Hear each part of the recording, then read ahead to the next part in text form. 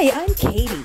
I've been surrounded with vintage goodies most of my life, but just in the last 10 years, I've figured out just how much delight I get from having it in my home and looking at it for other people.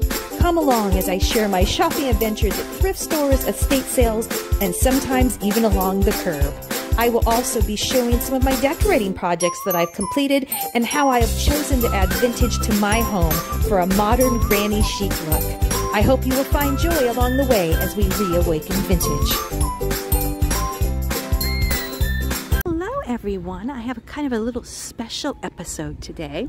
I'm about 40 minutes from my home, and um, this is the original Betty Crocker House. Um, it is owned by private residents, so you're not allowed in, but they use this property and once a month they have um, flea market antique sale. Their little garage, you can see it right now, has uh, you can have for private events. I think there might be like a baby shower or something going on there. But let's go take a look. I think there's a sign that talks about the house. And then we're going to go over and check out what goodies the vendors have for sale. There are peacocks roaming around the property. It is just amazing right now. Yeah, this is super cute, whatever's going on over there. so, Betty Crocker House, if you ever wanted to know more about Betty Crocker. I gotta watch my... Okay, let's go find the sign. Look at it all, guys. Look at the peacock up on the roof of the house. I mean, it's just amazing. Just amazing to be able to get in there and look around.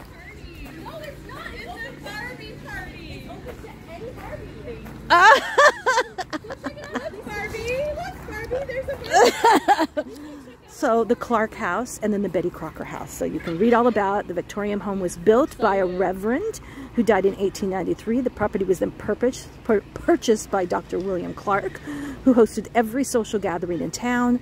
A later owner was dairy operator Arthur Miller, with whom the street, so it's on Miller Street. And then in 1941, Agnes White, the original Betty Crocker. So it wasn't even her name. Her name wasn't even Betty Crocker.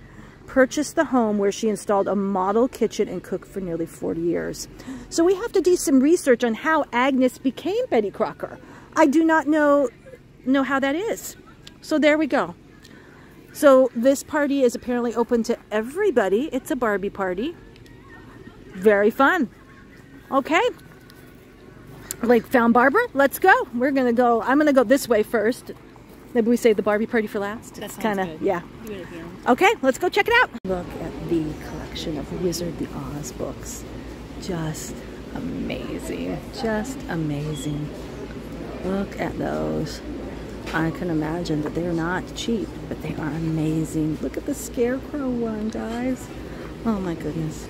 1919 and this one I didn't look at all of them is $38 which yeah if you really really want some over 100 year old Wizard of Oz books that's not so bad.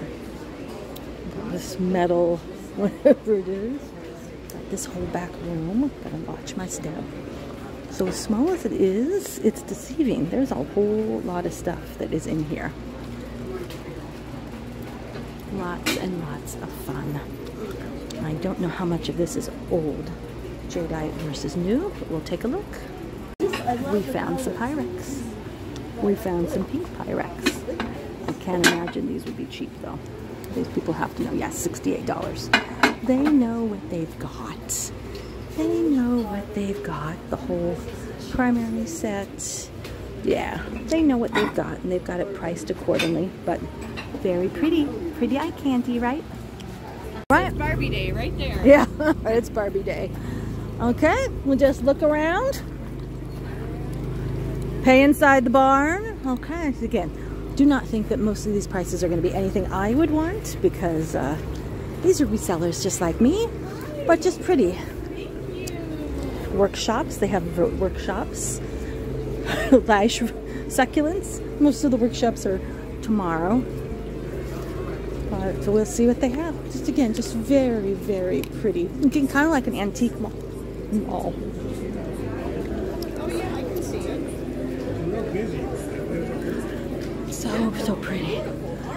So, so pretty. Mixture of new and old together. Not that big of a barn by any means, but Betty Crocker barn.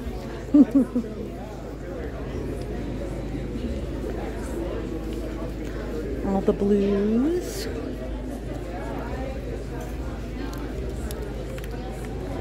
Always go looking for ideas too, right? Old photos on this really cool, was this a Christmas tree? Oh my gosh, I think it was a Christmas tree if you take off that. But I think it was meant for cards like what you're seeing. It, it's just amazing.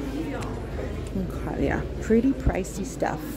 So I would be surprised if I walk out of here with anything today.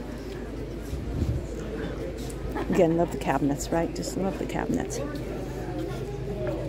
Molds. Okay, lots of people, so that's good for them, right? And that's early in the morning. It's only 10 something in the morning. Oh. Oh, I don't know what that was. Did you hear that, all ladies? Something, they rang a bell and everybody said something, I don't know. Jewelry. This is interesting, huh? Like the latch. Uh, very interesting. Pretty stuff, that's pretty. I don't wear a lot of jewelry though. Just not my thing, but cute. Okay, I'll turn you back on if there's something good I see.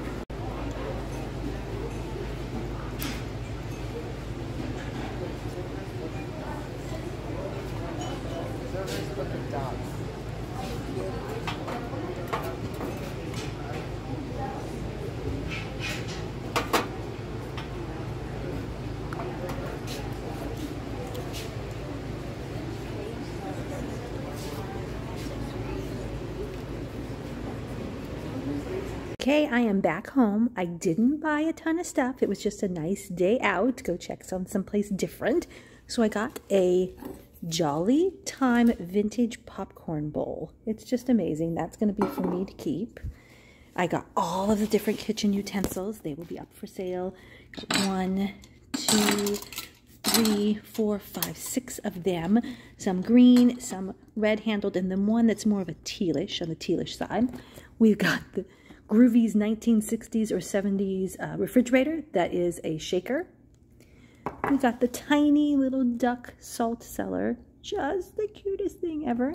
And then last but not least is the Mother Goose hanging plaque, vintage made in Japan. Just amazing. So all those goodies will be up for sale. Thank you so much, as always, for watching, with sharing this with your friends. And I would love for you to like this video and comment below and let us know what your favorite thing was. Talk to you guys later. Bye-bye.